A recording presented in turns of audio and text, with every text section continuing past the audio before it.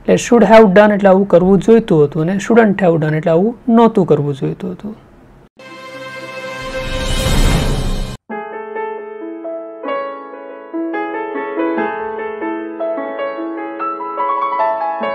નમસ્કાર મિત્રો. ખબર છે ડોટ કોમના ધ વર્લ્ડ ઓફ વર્ડ્સમાં આપનું સ્વાગત છે. મિત્રો, ઘણા બધા વ્યક્તિઓએ મને એવી વિનંતી કરી હતી કે તમે શબ્દોની સાથે શબ્દોનું વ્યાકરણ પણ કોઈક રીતે તમે લો તો વધારે સારું. તો આજે મેં પસંદ કર્યા છે સાત શબ્દો, જે વ્યાકરણમાં પણ અગત્યના છે.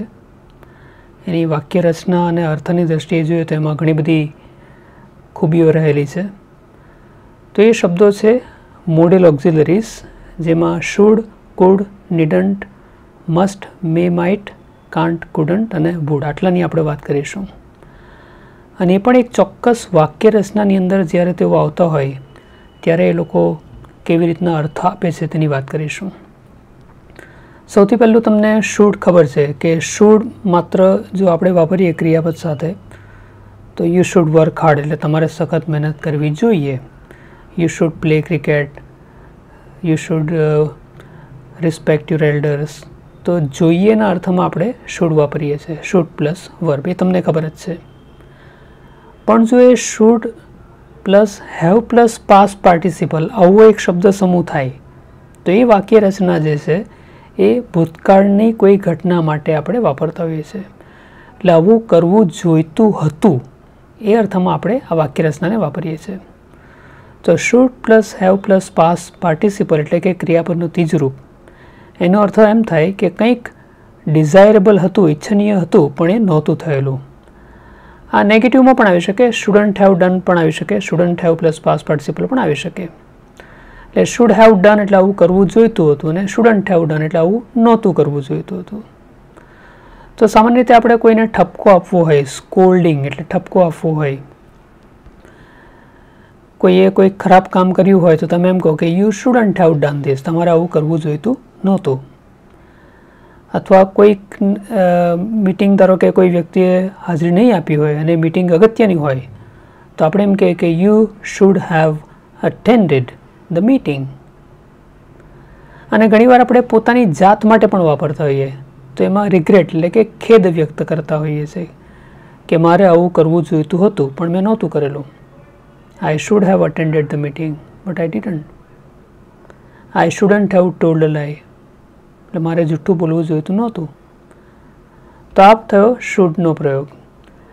ત્યાર પછી છે કુડ કુડને જ્યારે આપણે હેવ પ્લસ પાસ પાર્ટિસિપલ સાથે લઈએ છીએ, ત્યારે અનયુઝડ અબિલિટી ઇન ધ પાસ્ટની વાત કરીએ એટલે ભૂતકાળમાં કોઈ આપણી પાસે ક્ષમતા હતી, પણ એ નહોતી વપરાયેલી. એ સાચું પણ હોઈ શકે અથવા એ બોસ્ટિંગ ખાલી બડાઈ હાંકવા માટે પણ હોઈ શકે. કોઈક વ્યક્તિના ધારો કે પચાસ ટકા માર્ક આવ્યો હોય અને પછી એમ કહી શકે કે હું એંસી ટકા માર્ક લાવી શક્યો હોત. હવે આપણને ખબર નથી કે એ ખરેખર કેપેબલ હતો કે નહીં. તો એમ કહી શકે કે I could have secured eighty percent marks. ઘણીવાર એ સાચી વસ્તુ પણ હોય. ધારો કે કોઈ બીમાર પડી ગયું હોય અને એને કારણે પરિણામ સારું નહીં આવ્યું હોય. તો એના માટે એ વાક્ય સાચું પણ હોય કે સારું કરી શક્યો હોત he could have done better definitely but he fell ill ત્યાર પછી needn't plus have plus past participate એટલે આવું કરવાની જરૂર નહોતી. ઘણીવાર તમે કોઈ શોપિંગ કરી દો, વધારે પડતું, અને પછી એમ તમને થાય કે જરૂર નહોતી, પણ હવે થઈ ગયું છે, તો કંઈ વાંધો નહીં હવે. I needn't have bought ten books or ten dictionaries of the same type I needn't have done it ઘણીવાર તમે કોઈ પ્રોગ્રામ એટેન્ડ કરો અને પછી તમને એમ લાગે કે એની જરૂર નહોતી. તો I needn't have attended that program ત્યાર પછી ફોર ફાઇવ અને સિક્સ જે છે, એ ભૂતકાળની કોઈ ઘટના માટે અનુમાન કરવા માટે છે. ગેસ છે. એ અનુમાન તમારું પોઝિટિવ હોય નેગેટિવ હોય કે ફિફ્ટી પર્સન્ટ ચાન્સીસવાળું પણ હોય. એટલે ગુજરાતીમાં તમે એમ કહો કે ચોક્કસ આવું જ થયું હશે. ભલે મને કોઈએ માહિતી નથી આપી, મારી પાસે ફેક્ટ્સ નથી, પણ મારું અનુમાન એવું છે કે ચોક્કસ આવું જ થયું હશે. ધારો કે કોઈ બહુ જ સારો વિદ્યાર્થી હોય અને પરીક્ષા એનું ગઈકાલે પરિણામ જાહેર થયું હોય. તમને હજુ એ વિદ્યાર્થીએ પરિણામ કહ્યું નથી.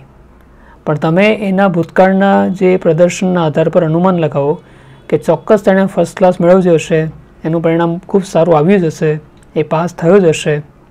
તો આવા વાક્યમાં આપણે કહીએ he must have passed the test he must have scored well he must have got a first class તો must have plus past participle ચોક્કસ આવું થયું જ હશે એવું કહેવા માટે વાપરીએ. અને મેં અથવા માઇટે કદાચ આવું થયું હોય. મને ખબર નથી, કદાચ આવું થયું હોય. ગઈકાલે એ પાર્ટીમાં નહોતો આવેલો.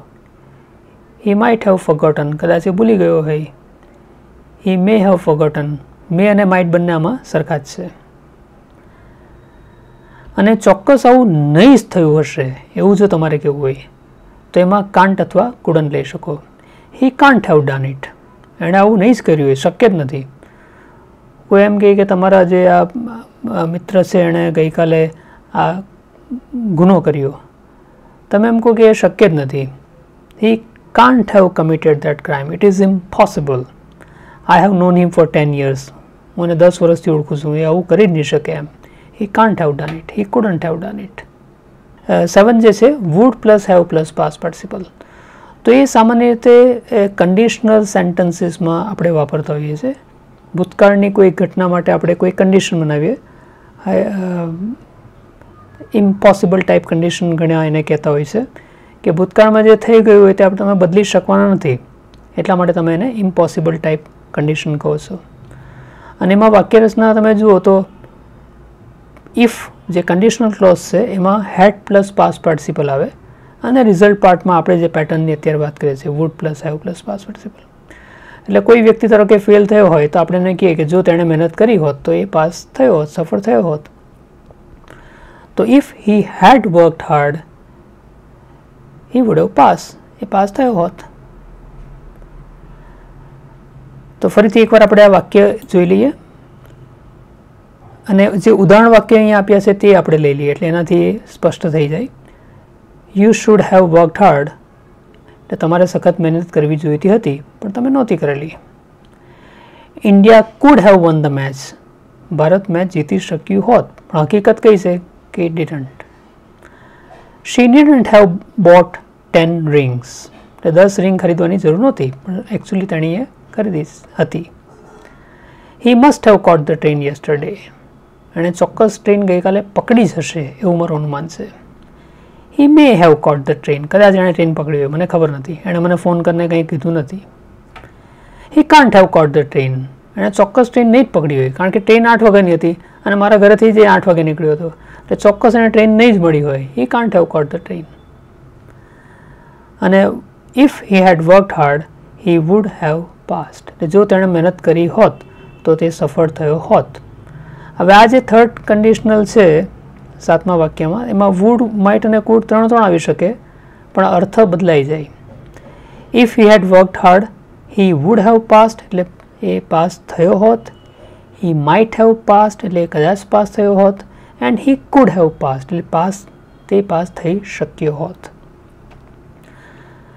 તો આશા રાખું છું કે આ સેવન પેટર્ન્સ જે છે modal auxiliary plus have plus past પાર્ટિસિપલની એ તમારા મગજમાં ચોક્કસ ફિટ થઈ ગઈ હશે, સ્પષ્ટ તમને ખ્યાલ આવી જ ગયો હશે.